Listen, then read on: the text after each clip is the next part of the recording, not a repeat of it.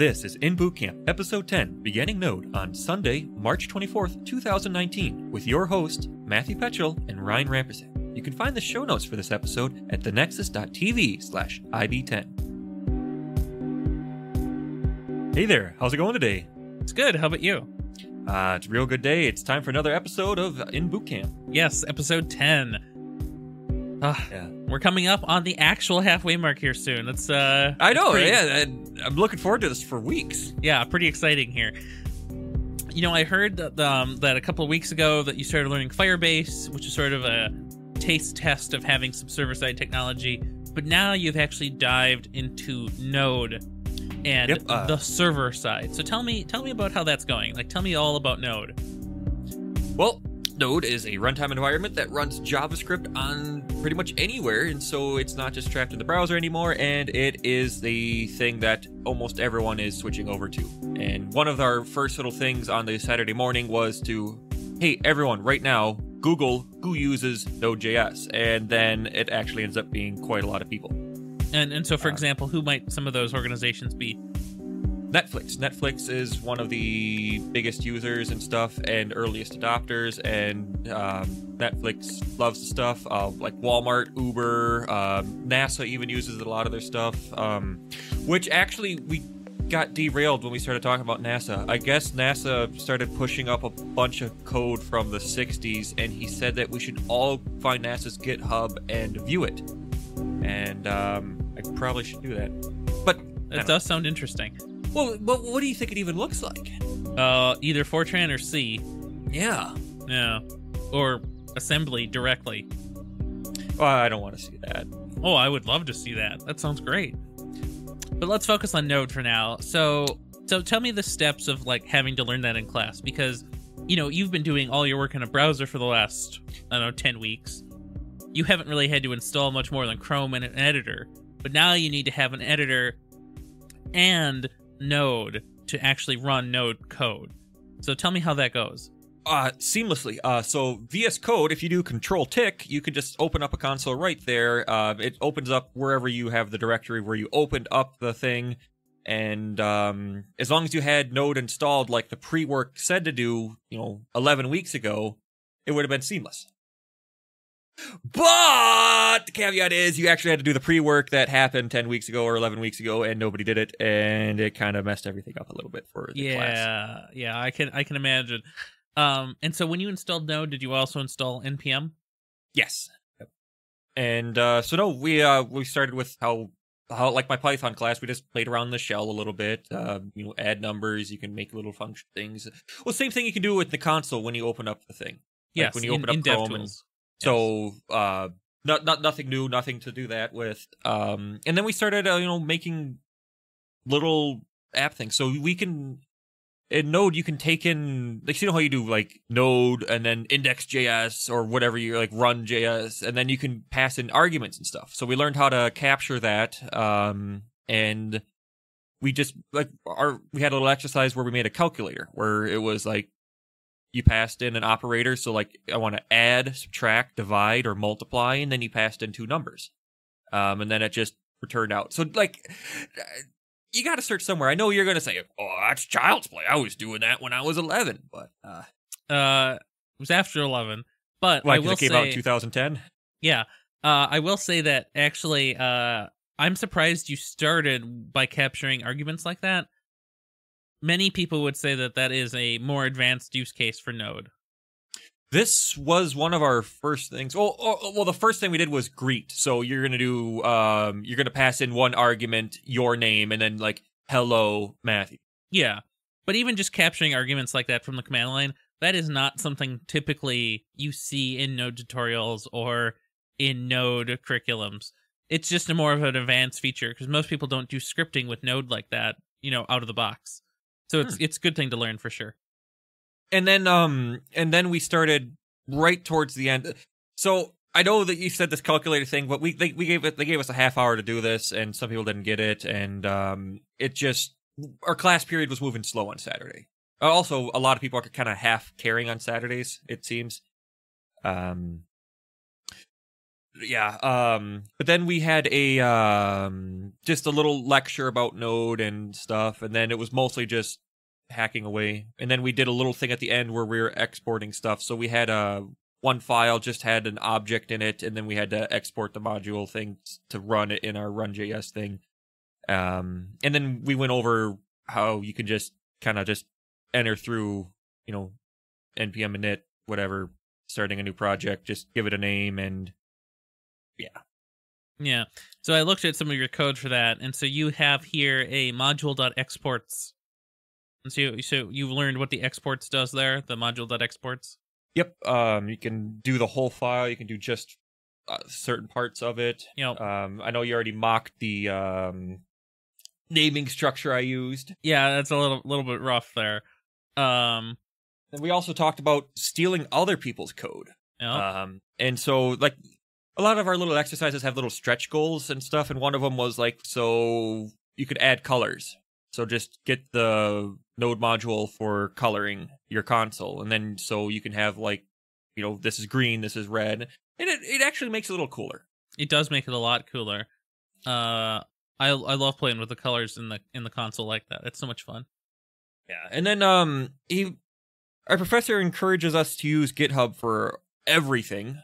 Um and then he kind of gave us a little thing that we should um not upload our node modules when we start uploading everything to GitHub. And why is that something to avoid? Well, I guess it's a way to make it huge and to, you know, let's say you had like, you know, 500 dependencies and everything else in a big project. I could, I could imagine that it's pretty big. And also doesn't update. Because if you, I mean, that's why you have the package or dependency, whatever thing. Like, there's other ways to get the stuff. Yep, exactly. So the package.json is the spec of dependencies that you need, which is a single file, very small, it's just a JSON file, Yeah. versus potentially hundreds, if not thousands, of individual packages that are pulled in and stored in node modules specifically. So it, it's actually interesting though, because in the old days, many, many years ago, before people kind of started using Git a lot, people didn't have all these conventions and know all these things. And so many projects did store all dependencies with the project all the time. And then we just ended with another quick little mini lecture thing. It the professor breaks up our slideshows and he doesn't like talking for more than like five minutes at a time. That's fair. I mean, it's also good to keep you guys engaged. Um, so so what do you think you're going to be doing with Node? Like what do you think the like near term goal is? Like Well, normally on Saturday they kind of give you a preview of the week, but they didn't actually talk about what we're going to be doing um that much. I Um, expect that you'll be learning how to you know make a little node server soon and then after that probably learning express a little bit and then a little bit after that probably making an API of your own. Yeah. Uh, I do know Express will be covered in this course.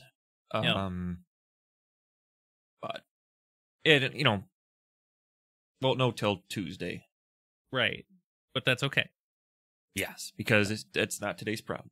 That's right. Uh, okay, so let's uh, we we do have some follow up uh from the interview day, uh, which was a what what that seems like a month ago now. To not me. really though. It was a, basically a week ago. Is that right? A week ago. Yep. Oh my Um, gosh. So short version, they are moving forward with other candidates. Short version, huh? Uh, which is which is fine because you know you didn't do very well Oh, on the coding part. Totally okay. Uh, and and you have recognized that the the experience was well worth it. I had never had a real job interview before. I when I got the interview at the post office, it was in a cafeteria. They asked me just super generic questions and just said, "Hi, here. Now you're, you're a letter carrier now.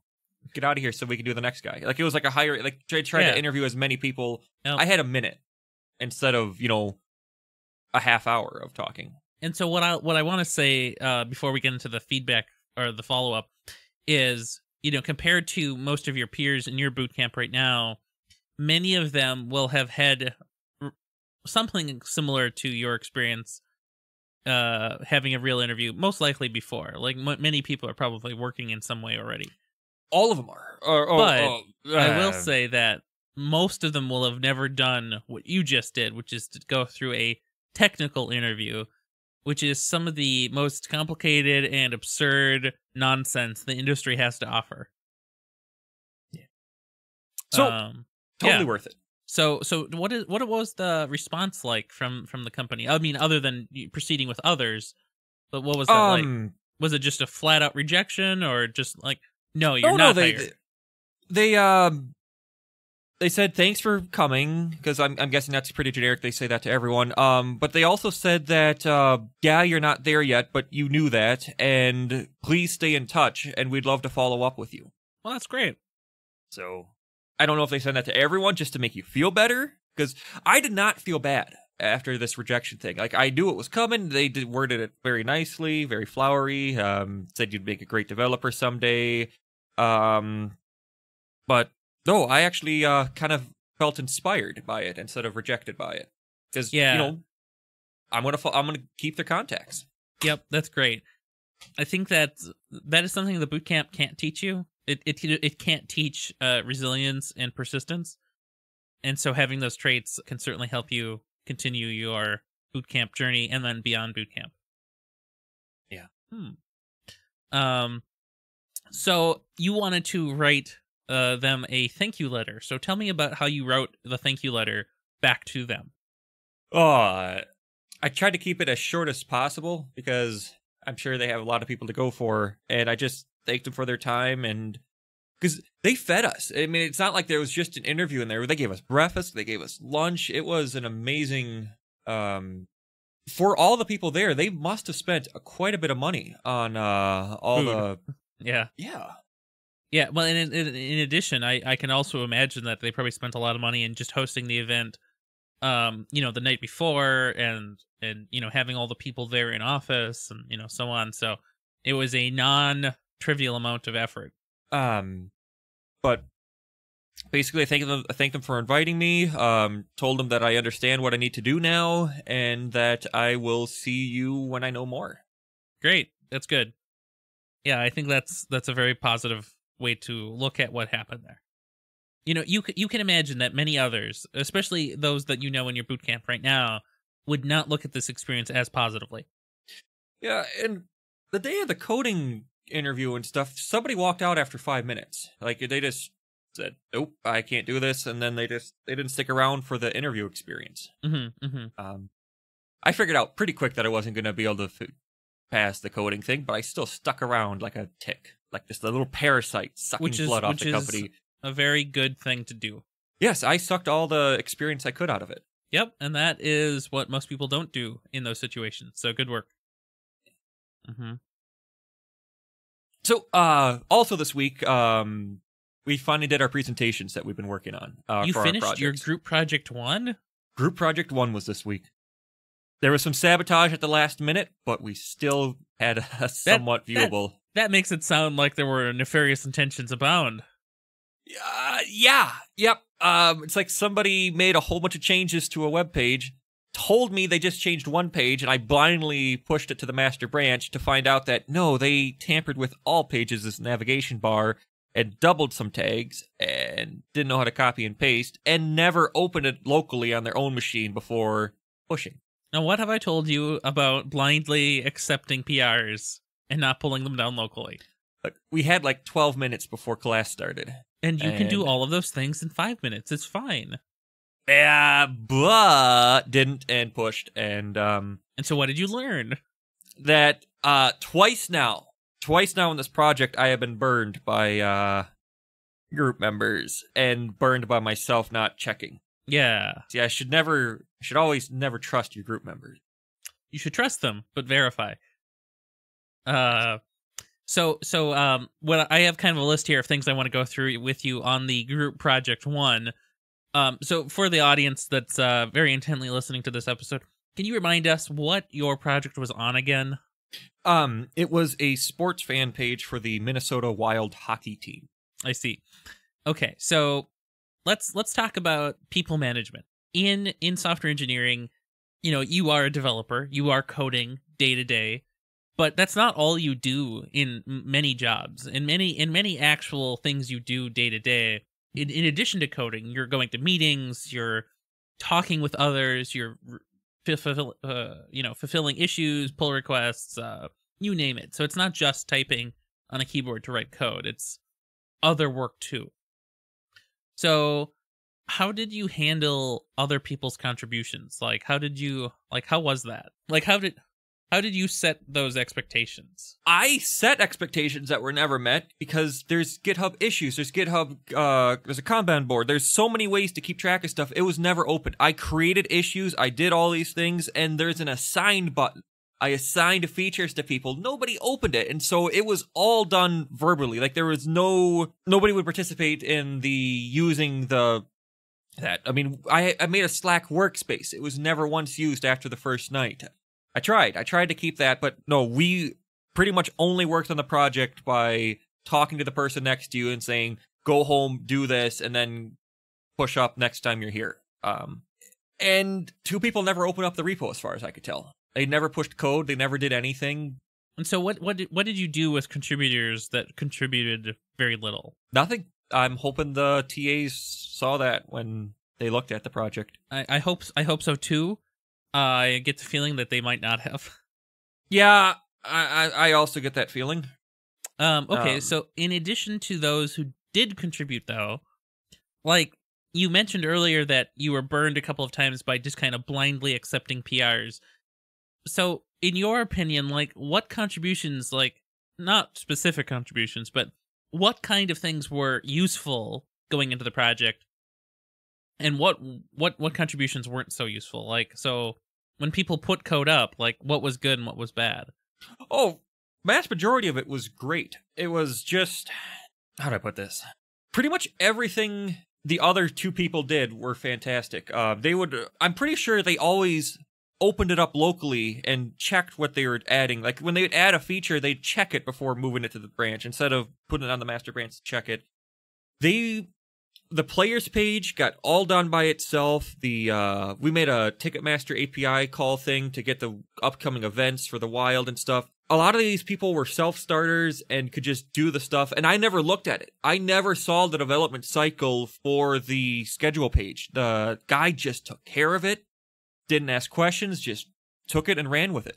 That's great. Um So so the there's a pretty clear spectrum here. So there's those who did no work and those who did. yeah, he didn't ask. I mean, I, I wasn't even sure if it was going to get done. It was just magically in the repo. Yep. And uh, like we were like, Tyler, can you handle this? Yeah, and then just done. Yep. And uh, I like that. so there there is a sense of autonomy when you're doing development, right? Like you have the choice on how to build the thing you're responsible for. Mhm. But it's also good to keep in mind that you are sup- intended to communicate with the rest of your team, even if you can handle it. Yeah. Okay, so that's cool. Uh, let's talk about code management. So I've heard that you have had a few Git conflicts in your merges. So tell me about how merge conflicts went. Our project that was two weeks long had 35 merges uh, back to the master, and only two of them or three of them had super conflicts, and it was because they were the first time the guy was 14 behind the master. Like he, I mean, he got the starter files and never git pulled. Um, and one of them was just completely grisly. Like, like it shouldn't have even been tried to. We shouldn't even have tried to fix the merger. We should have just delete his branch and make him fix it. But oh, also we used it all in the browsers. Get uh, so you know how on GitHub pages or GitHub there is a resolve button, and you can use their uh, you know in browser text editor. Yeah. That's basically me and the other guy were just gathering around my little laptop, and we were trying to figure out what was what, and ended up duplicating some random brackets and some other stuff, and then having to fix it locally after the merge. Because just because GitHub says there's no longer a conflict doesn't mean that it's it's fixed. Right. Um, because we had some stray brackets that caused some trouble, but wasn't a conflict. Right. And this is the first time I've used GitHub in this way. Um, because I we've been using GitHub since day one, but you're only working with yourself. hmm Like it was like a good way to back up your code or work on multiple machines and stuff. Because I I would only use my laptop at school. I, my my laptop goes is open three times a week, uh, Tuesdays, Thursdays, and Saturdays. Um, but yeah, So And so when you were showing me some of your uh, code throughout the process, I don't know about recently, but you know, sort of in the first week, I noticed that you had um, you know, quite a few repeated body tags and head tags and uh, you know, code quality might not have been the highest in every uh commit. and I would fix them and they would revert back because I don't think they were pulling down again. Yeah. Like so the final project had the a jumbotron navigation bar thing in the head. like still, still, like I mean, on final day, I fixed it and then like keep on putting it back. Yeah, you you you only put you don't put any styling or content in the head. Um, it was pretty much day one stuff. yeah. Um, I, I I get the impression that was like a merge conflict thing. Like, eh, but repeated conflict. Like I mean, it wasn't like it was just one bad branch. This was multiple dead bad branches. Like Yeah. our, our tree was kind of unhealthy. Of it, a little bit for sure. Uh, and the other thing I would say is, I uh, what I'll comment on as far as the code goes is your look and feel of your end product was kind of mediocre. yeah, like you think we could have polished a little bit more. Well, so I I uh last week when we talked, um I made a joke about bootstrapping and you thought I was talking about Bootstrap, the Twitter library. Twitter Bootstrap. Yeah, Uh, Twitter but, bootstrap. but I wasn't making a joke about that, which made me think that you guys didn't consider Bootstrap as a way to kind of style your system. Did you end up using Bootstrap or was it something else? well, so for extra points, we could have made it mobile responsive, and I um basically told the guy like, yeah, so on on especially this, this players page was pretty much just HTML, like there was no fancy calls or API calls or stuff, and so the one guy was supposed to take care of it. I'm like, yeah, you know, if it's on mobile, if it's on a tablet or smaller, make it one column and use the everything else. And I got containers are hard and stuff and they basically said that yeah we're we're we're not we're i'm to take care of it but i'm not actually going to do it because our nav bar our jumbotron we've used a lot of bootstrap elements and like bootstrap cards but not so much for styling just for structure stuff Sure. That's okay. I mean, as long as you use Bootstrap somehow, yeah, you you you and your team will have to work on uh, the aesthetic portion of your skill set. yes Speaking of aesthetic, let's talk about your presentation. Uh, presenting is something that you do regularly when you're doing software engineering because you make all this stuff and then you have to go talk about it. So tell me about how your presentation went. at six o'clock i walk into a room and a guy who doesn't know what google slides is and loves apple's keynote thing because he's a mac fanboy um basically said all right you guys i want you to talk about some slides and then he got quiet for like 20 minutes and then class started and we ran out in the hallway real quick and then figured out who was going to say what and i saw the slideshow for the first time in my life. Cool. after class had started. Nice. it would have been nice if we had like you know you know everyone had their a gmail account and everyone was using you know google docs as slideshows but nope nope nope nope. I asked him he said no and the group members weren't pushing it. I i was re- so plenty of times uh two people disagree on stuff but there's six of us in this group i was hoping like the other group members would be like you know matt's got a valid point. I would like to see the slideshow too. Nope nope. Uh like no no just let, let, let him do it. Let him do it. Let him do it in keynote. Our presentation wasn't very good. So what what what had to be in your presentation? I guess I was never clear on that totally. We weren't. Um honestly after the slideshow i just went up there and uh we just went to github pages and i just demoed the site real quick. Oh, and I- then okay. did a handoff. So the pre uh, we we were allowed a 10 minutes uh i think we actually only ended up using eight. Um the slideshow was a few and then us showing the feature functionality of the site took a little bit. And um yeah it just six people doing a presentation that nobody's prepared for uh, we did pretty good and when you think about it that way. I, I, I, that is exactly how I'm thinking about it. That brings to mind when I was in a journalism class, no less, uh, when all my team members did not prepare for the slideshow and didn't have any cited sources, whereas my sections did. Ah, the good old days. But keep in mind, this guy's one thing that he was supposed to do was this presentation, was this slideshow. Like that was what he was supposed to contribute. Yeah. Yeah. hmm But slightly Um, bitter, slightly bitter. Slightly bitter. Before we get to your final grade, I want to talk about some of the other projects. So surely you were there watching other people's. Yes, there were five of them. So five groups. Five groups. Okay. And so what were some of the other topics people picked? Uh, some people were uh did like a restaurant finder because there is a good eats api something or other uh there's a way to get reviews for local things and they actually did some really cool stuff of course it's demos and sometimes things break um a guy was making a maps call thing and i guess the, you weren't allowed to present on your own machine.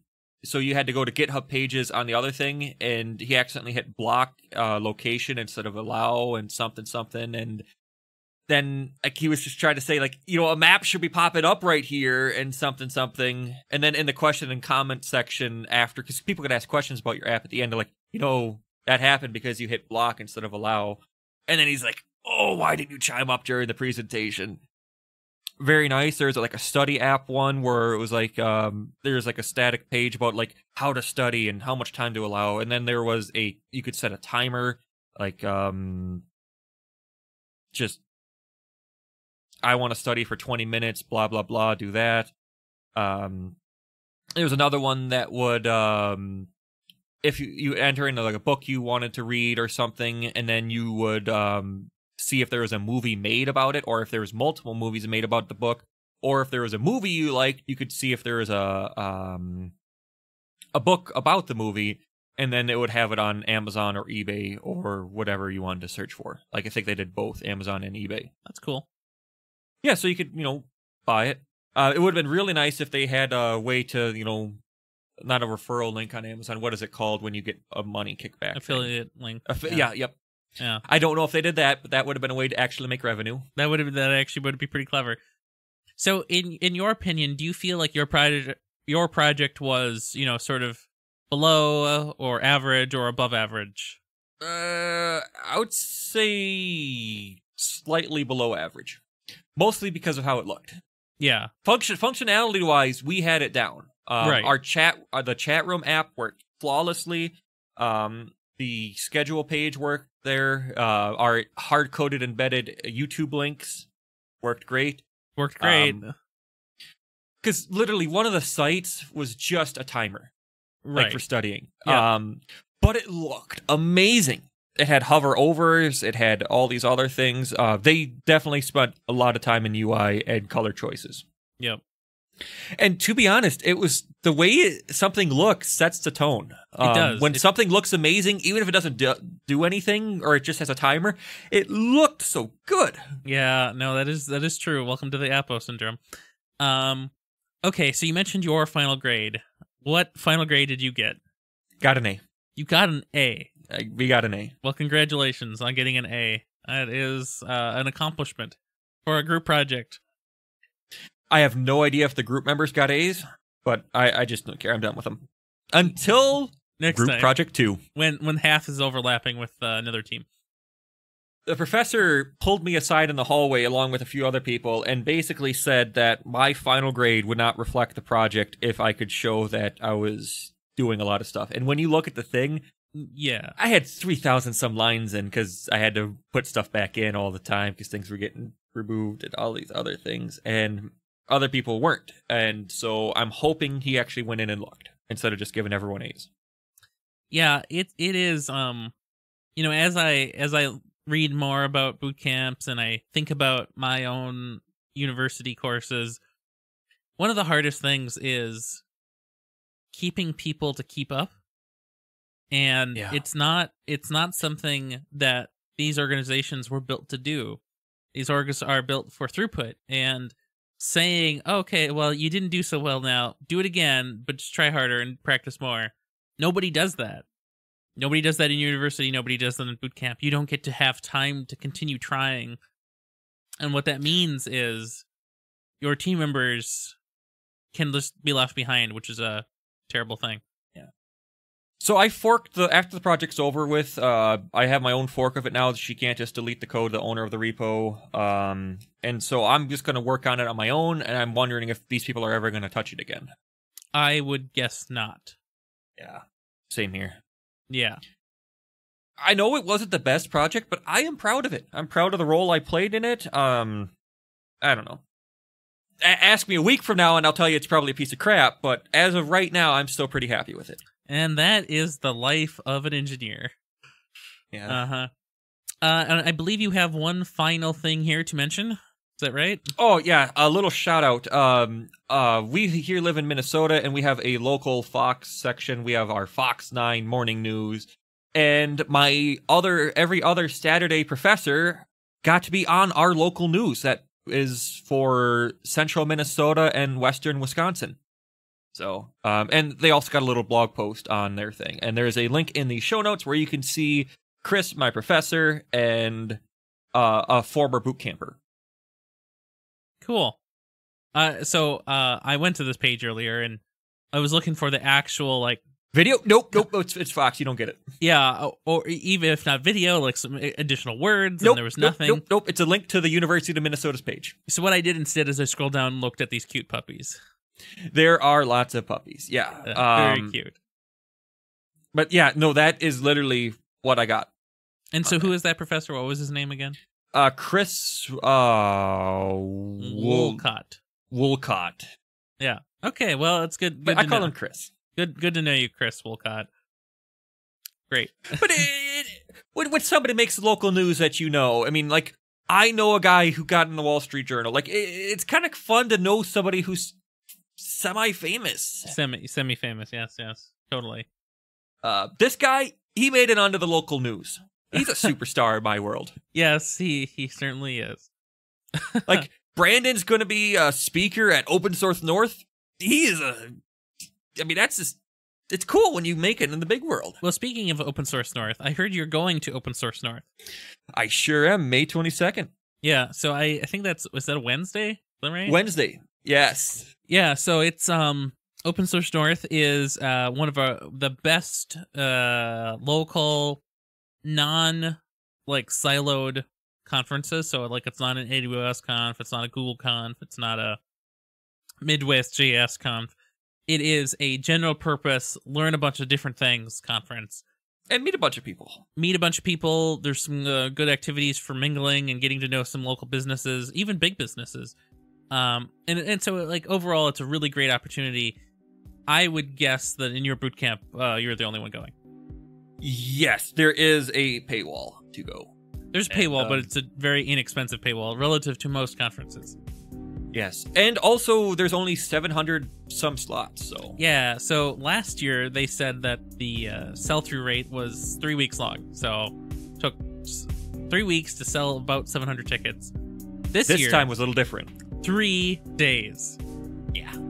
Yeah. Oof. That was uh good thing we got in as soon as we could. Yeah, it's because uh, somebody didn't give their email to the thing. I, I love signing up for uh, email notifications and then complaining that I never get it back. I am still waiting for Old Trappers Beef Jerky to send me an email when their um, deli sticks that I love so much are back in stock. They yeah, don't. they, they might not get back to you on that, but they might sell your email address for 0.0002 cents. yeah. Yeah. Uh, okay, well, this has been fun. Uh, where can we find you on the internet? Oh, you can find me at MatthewPetrol.com, and you can also find me on the People's page of the Nexus's website. Great. And how's your blog coming along?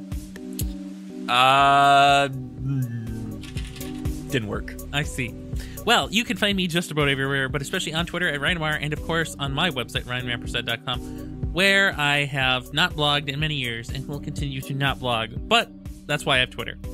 You can also leave comments for us at reddit.com slash r slash the nexus tv and you can support us on patreon.com slash the nexus tv where you no longer have to participate in the fringe paywall you can just listen to the fringe as you should be able to uh so uh any plans for next week matt Um, to learn about Node and to enjoy the wonderful spring weather. that is a good plan it is finally almost nice out it's only going to be getting nicer i think Yes, it will. Um, and we we have like 65 next week. So I was hoping to do some grilling this weekend, but my backyard is still a swamp. That can happen. Well, have a good one. Take care.